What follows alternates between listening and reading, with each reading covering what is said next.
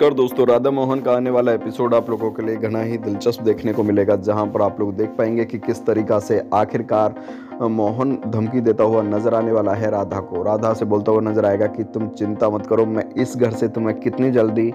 ऐसा परेशान कर दूँगा कि मैं नहीं भेजूँगा, बल्कि तुम इस घर से जाने के लिए खुद कहोगी। और तुमने मेरी बेटी के साथ में प्लान किया, मेरे साथ में प्लान किया, और अब तुम हमारे घर की चाबी तक की आपने अपने अंटर में ले ली है। दोस्तों, आप लोग जानते ही हैं कि अपने कब्जे में चाबी लेने का आरोप लगाता हुआ नज़र आ रहा है, और आप लोग जानते ही हैं कि इस समय मोहन को कौन भड़का रहा है। मोहन को कोई और नहीं भड़का रहा, बल्कि आप लोग जानते ही हैं कि किस तरीका से दामनी और दामनी की माँ दोनों ही भड़का रही हैं मोहन को। हालाँकि गुनगुन को अलग करने की कितनी बड़ी साजिश की है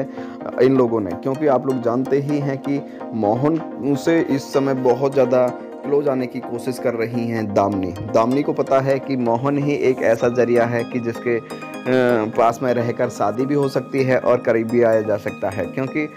और कोई इंसान तो है नहीं इस घर में जो तुम्हें इस घर में किसी के करीब लाएगा या तुम्हें किसी भी तरीक़ा की इम्पोर्टेंस देगा। क्योंकि सभी लोग कहीं ना कहीं अपोजिट हैं। वहीं पे ही बात की जाए दामनी की तो दामनी को इतना भी पता है कि राधा को किस तरीक़ा से इस घर से निकालना है, क्योंकि अब इमोशनली ब्लैकमेल करेंगी पहले तो और फिर उसके बाद में आप लोग जानते ही हैं कि किस तरीक़ा से मोहन को भड़काएँगे राधा के खिलाफ कि ये इस घर में रहेगी तो इस घर का जो कि सत्यानाश कर देगी और गुनगुन को अलग रास्ते पे भटका देगी, क्योंकि इस तरीक़ा से ही उसके बारे में गलत सलत बातें बोलती हुई नज़र आने वाली हैं दामनी। दामनी का हमेशा से ही फितरत रही है कि किसी भी तरीक़ा से अपना फ़ायदा उठाने के लिए दूसरे के घर में आग लगाई जाए। साथ ही दोस्तों, चैनल को सब्सक्राइब करें, वीडियो को लाइक करें एंड कॉमेंट करके ज़रूर बताइएगा। Thank you so much